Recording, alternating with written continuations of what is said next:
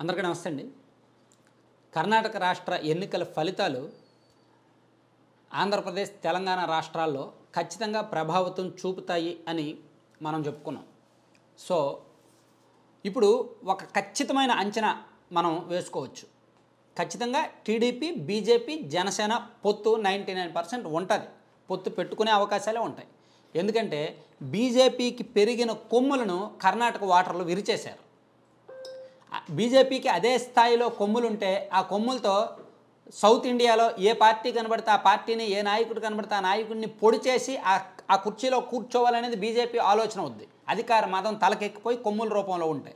కానీ కర్ణాటక ప్రజలు ఆ కొమ్ములను విరిచేసి దించేశారు. కాబట్టి కాస్త తగ్గి ఉండాల్సిన అవసరాన్ని కల్పించారు.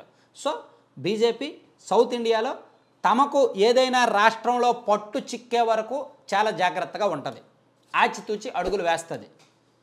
సో అందుకే ఆంధ్రప్రదేశ్లో కానీ తెలంగాణలో కానీ టీడీపీతో పొత్తుతో వెళ్ళినప్పుడు మరీ డామినేట్లు డిమాండ్ చేయడాలు ఉండవు.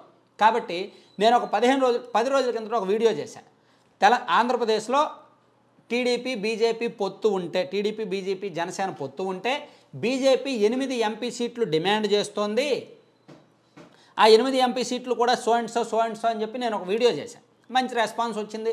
కొన్ని డిఫరెంట్ కామెంట్స్ వచ్చాయి. నాకున్న సోర్సులతో నేను చాలా నమ్మకంగా చెప్పాను అయితే టీడీపీ మాత్రం వీళ్ళు ఎనిమిది అడుగుతున్నారు కదా ఎనిమిది ఎక్కడ ఇస్తాంలే నాలుగో ఐదో ఇద్దాము. ఎందుకంటే రెండు వేల పద్నాలుగులో మూడు ఇచ్చారు.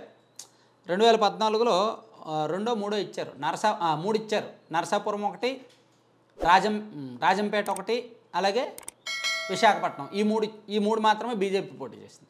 సో రెండు వేల ఇరవై నాలుగులో ఐదు ఎంపీ సీట్ల వరకు ఇవ్వడానికి టీడీపీ రెడీగా ఉంది. కానీ బీజేపీ మాత్రం ఎనిమిదిలో ఉంది.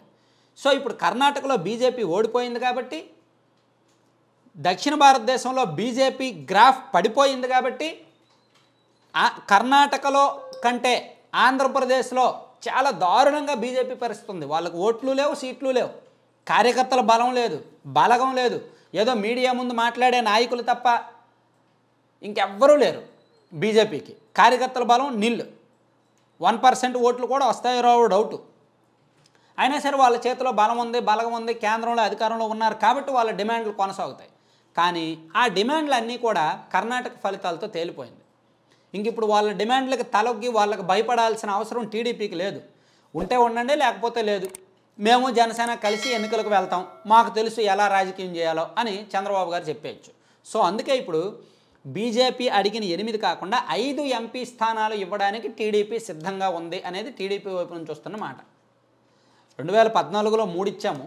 ఇప్పుడు బీజేపీ కాస్త దేశవ్యాప్తంగా కొంచెం బలంగా ఉన్నారు కాబట్టి వాళ్ళు కూడా మాకు సహకరిస్తారు కాబట్టి ఐదు ఎంపీ సీట్లు బీజేపీకి ఇవ్వడానికి టీడీపీ రెడీగా ఉందంట. యాక్చువల్లీ ఐదు ఇవ్వడం కూడా అనవసరమే.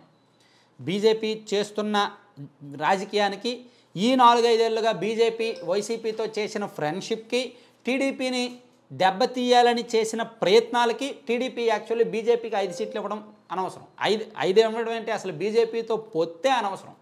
కానీ కొన్ని గత్యంతరం లేని పరిస్థితుల్లో ఫండింగ్ కోసమో కార్పొరేట్ వ్యవహారాల కోసమో ఇతర అవసరాల కోసమో బీజేపీతో జత కట్టాలి. తప్పదు కాబట్టి జత కడుతున్నారు. సో తప్పనిసరి పరిస్థితుల్లో పొత్తు పెట్టుకున్న వాళ్ళు అడిగినన్ని సీట్లు కాదు కానీ సో ఒక ఐదు ఇవ్వడానికి టీడీపీ రెడీగా ఉంది. నాలుగు లేదా ఐదు. బీజేపీ కూడా ఒప్పుకునే అవకాశం ఉంది అంటున్నారు. ఎందుకంటే పరిస్థితులు మారిపోయినాయి గ్రాఫ్ పడిపోయింది. డిమాండ్ చేయడానికి అవ్వదు. డిమాండ్ చేస్తే లెక్క చేసే పరిస్థితుల్లో లేరు.